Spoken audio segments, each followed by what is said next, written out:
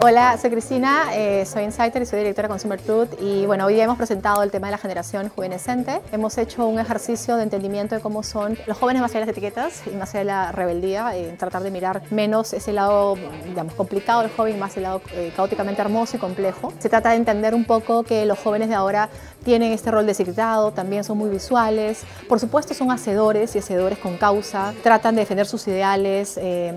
tratan de siempre saltarse de, acción y de momento, eh, no creen en una sola forma de vivir, tampoco en una sola causa que defender y claramente al ser cambiantes móviles eh, buscan siempre reaprender y desaprender.